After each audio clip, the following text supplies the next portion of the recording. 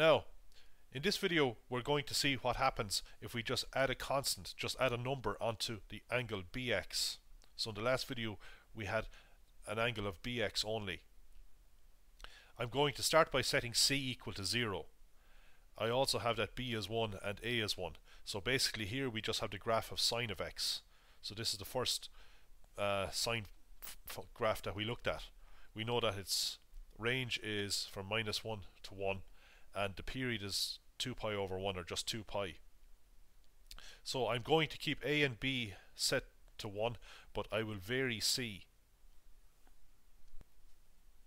So I'll increase C and as you, as you can see here as C increases the function appears to be moving to, to the left the graph appears to be moving to the left but the range and period haven't changed so changing C just shifts the graph in the x direction. The shape of it stays exactly the same.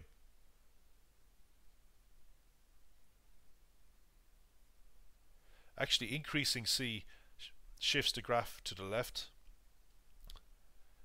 Decreasing C shifts the graph to the right.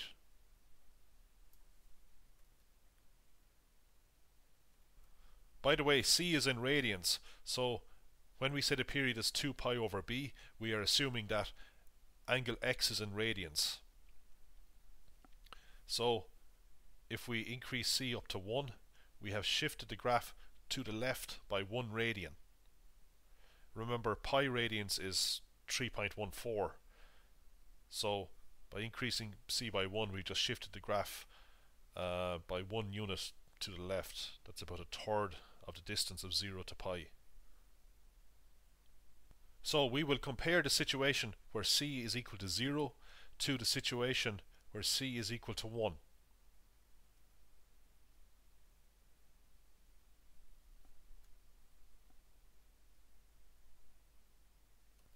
Now, I've just put the graph of sine of x next to the graph of sine of x plus 1. Let's look at this peak of the sine of x graph, it has been shifted by one unit to the left to get a peak of the graph of sine of x plus 1. So this value here is pi over 2 minus 1. Now I'm working in radians here. It would be a mistake to write down 90 degrees minus 1 because this 1 is not 1 degree. This 1 is 1 radian. So I will just work in radians. So I've just shifted everything by one radian to the left. So pi over 2 gets shifted to pi over 2 minus 1. So I'll call this function f of x. So let's work out f of this quantity here. f of pi over 2 minus 1. Well, we just plug pi over 2 minus 1 in for x. And you see we have to add 1. So this here is x. x is pi over 2 minus 1. And uh, in this function we have to add 1 onto it. So you see we get sine of pi over 2 and we know that that's equal to 1.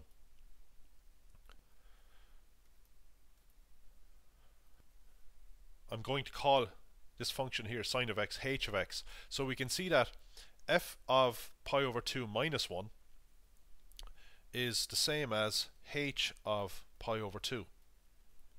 So you get h of pi over 2, we go up to the graph and across, and we get 1. So you see that subtracting 1 from the value of x gives the same value for f of x as h of x did before we subtracted 1. So f of x minus 1 equals h of x.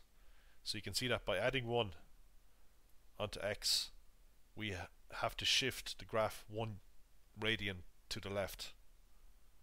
Now the opposite would happen if we subtracted 1. If I made this minus 1, then this red curve would be got from the sine of x curve by moving the sine of x curve one unit to the right. Now things get a bit more complicated if we have some other number in front of x other than 1. What happens then if we add say some value like plus 1 onto b of x.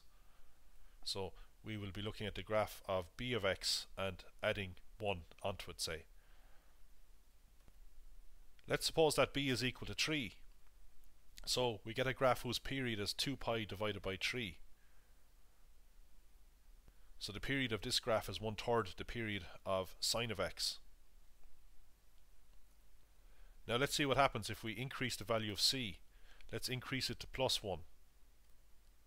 See the graph is shifting to, to the left because we're increasing c. So we went, the gap is, I'll just indicate the gap.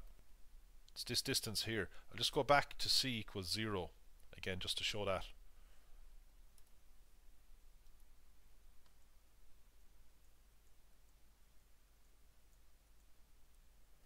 So what is this gap here?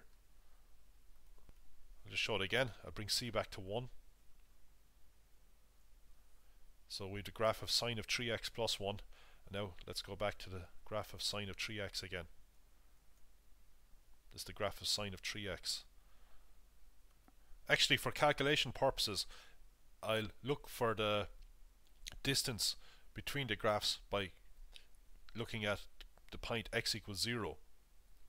So here we have the graph of sine of x again and uh, this time I'm going to increase c to 1. Actually we want b equal to 3, I'll just bring b up to 3. Okay so now we start off the graph of sine 3x not sine of x. Here c is equal to 0 and let's increase c by 1. So now the gap that we will look at is this gap here of course this gap is the same gap that we saw at x equals pi. We see that whatever value of x this is, the sine of 3 times it is going to be 0. So let's say this is x. Well our function is sine 3x, so we see that sine well I should say sine 3x plus 1 equals 0, so that's our function. So looking at this point here, if we plug this into this function, we get 0 because the graph cuts the uh, x-axis here. But now let's go back to c equals naught again.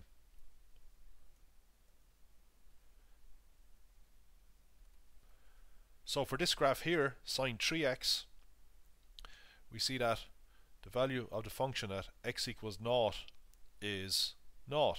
So this graph cuts the x-axis at naught. So the sine of 3 times naught. So we get naught. So this function here is this one here, of course. So um, we're interested in the value of x that gives us naught from uh, the other function. So we want the value of x that makes this angle in here equal to to 0 basically because when we plug 0 in here we get 0 or whatever the value this is on the right hand side of this uh, line segment here. It happens to be 0 here. That's why I, I chose it here rather than over here. Otherwise we'd have to work with pi. It's just a little bit easier. So this end of this segment is 0 so we plug 0 into the other function which is the sine 3x function. And uh, we want uh, this expression here, 3x plus 1, to equal the result when we plug 0 into the other function. Well, the result here, of course, is 0. 3 times 0 is 0, so we put 3x plus 1 equal to 0. So, if we solve this, we get x equals minus a third. So the gap between the two functions is one third. So let's see that again. So we move one third of a radian. Let's go back here to 1 and uh, if I change C to 0 we shift this one third of a radian to the right so in general the gap between the functions a sine of bx plus c and a sine of x is minus c over b if this number is less than 0 if this number is negative we shift the sine function to the left. It doesn't matter about the a in front of these, by the way. We could just leave that out. That makes no difference. So we shift the sine function to the left if this is less than 0. If this turns out to be greater than 0, we shift the sine function to the right. So in the example that we had, this gap was minus a third. So we shifted the sine function to the left. And uh, we ended up getting this function here, which is sine of um, 3x plus 1. Again, it doesn't matter about what's in front of these. We, we had one in front of them actually. It doesn't matter what the amplitude is. So how do we arrive at this gap? Well, we just put what's inside here equal to 0. So in general, if we put um, bx plus c